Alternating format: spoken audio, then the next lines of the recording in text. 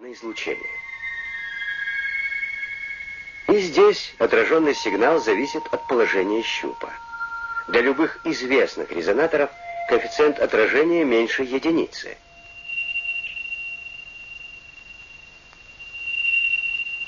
Но в нашем случае он больше.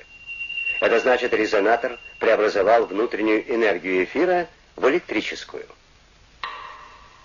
Гипотеза о возможности использования энергии наномира подтверждается. А следовательно делает бессмысленными все усилия человечества по усовершенствованию сжигания дров, угля, нефти, добычи экологически опасной химической и ядерной энергии. Как известно, все проекты вечного двигателя даже не рассматриваются ни одним патентным бюро мира. Но у нас в руках не вечный двигатель.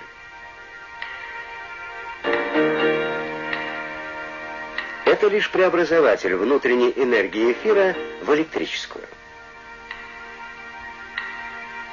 Другое дело, что сама энергия среды наномира неисчерпаема. Движение среды, воздуха в данном случае, полощет флаг. По законам физики можно представить и движение флага относительно воздуха. Подобно тому, как плывет в воде рыба – или ползет по земле уж. Они используют окружающую среду для передвижения. Но, как оказалось, можно использовать для движения и среду наномира. Если нарушить симметрию резонатора, силы не будут уравновешиваться, и он оттолкнется от эфира, как уж или рыба от воды. Это резонатор, преобразующий внутреннюю энергию наномира в электрическую.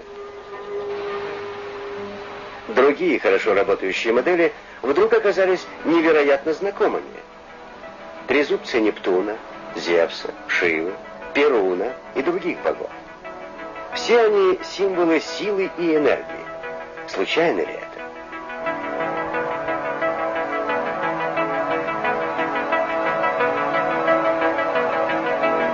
Это модель структуры наномира с осями симметрии.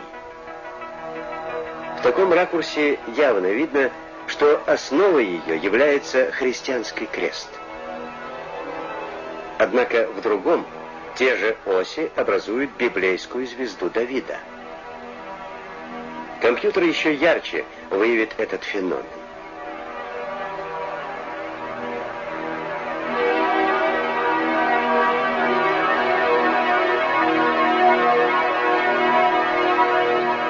Это вращение модели электронного пропеллера, он же чертово колесо. Здесь в перекрещении осей ясно просматривается свастика. Странная вещь. Научная модель наномира объединяет символы различных религий. Вопрос о существовании единого Бога решается с помощью науки. Объединение науки и религии можно сравнить с единением ума и сердца. Странно. Но случайно ли это?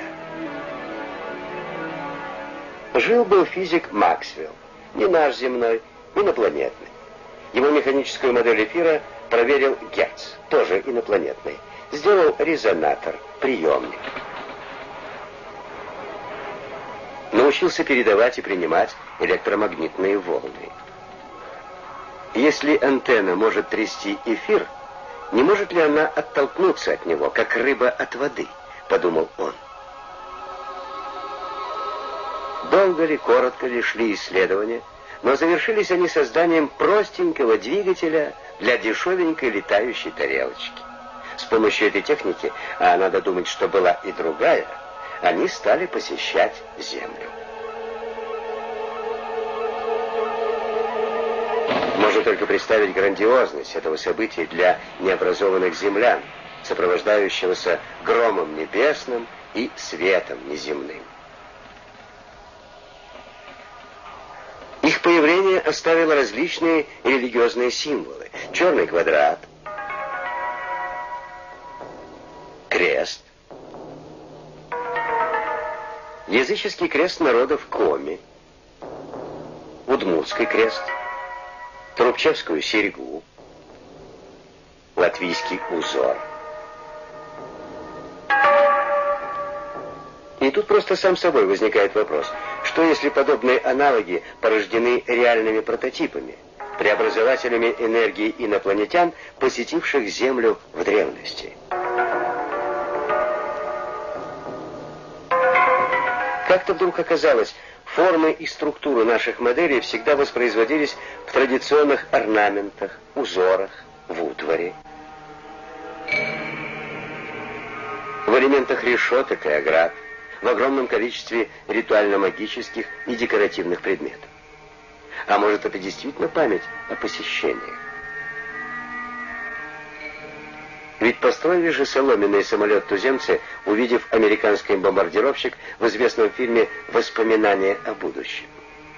А может быть, о прошлом?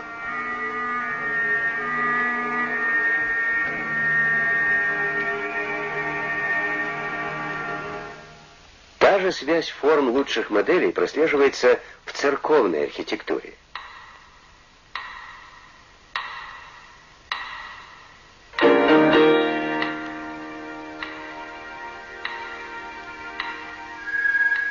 Модель пятикупольного двигателя. Его проверить проще, чем резонатор.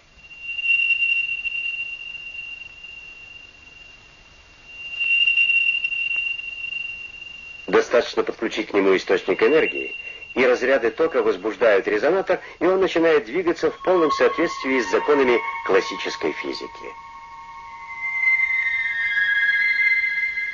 Можно подумать, что движение связано с искрением и другими побочными эффектами. Однако эксперименты показали, что влияние разрядов и ионных потоков снимает герметическая камера. А круговая траектория снимает эффект магнитных и электростатических полей. Двигатель работает даже внутри металлического экрана.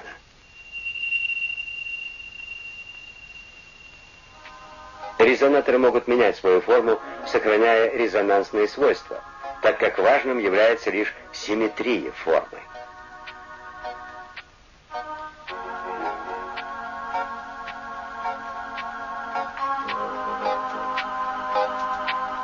Но как сделать двигатель мощнее? Можно соединить в батарею много элементов. При этом все они должны работать в одном направлении. Такое преобразование позволяет сохранить резонансные свойства. Повторяя операцию по другой оси, можно увеличить силу тяги. Дальнейшее уплотнение системы увеличивает ее удельную мощность. Ну чем не ковер-самолет? А может быть, так и было?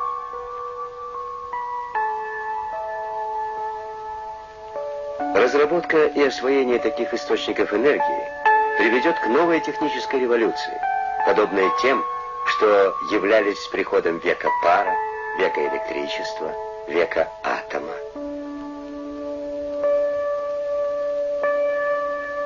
Только этот источник энергии вечный и экологически чистый. И рано или поздно мы придем к нему.